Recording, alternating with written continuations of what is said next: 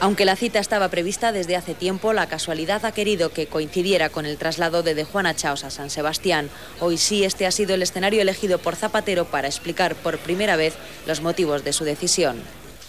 No es nuestro miedo ni la debilidad lo que le ha salvado.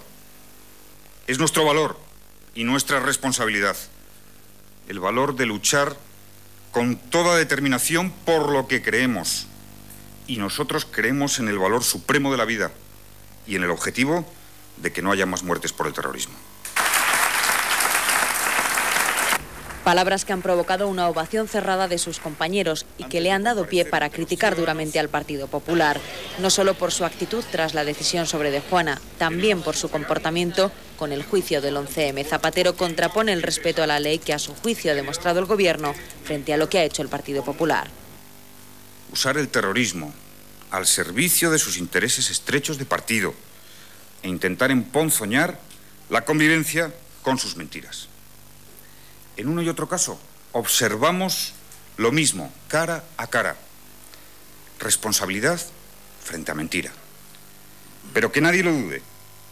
Tampoco esta vez conseguirán embaucar a los ciudadanos, ni alcanzarán sus fines.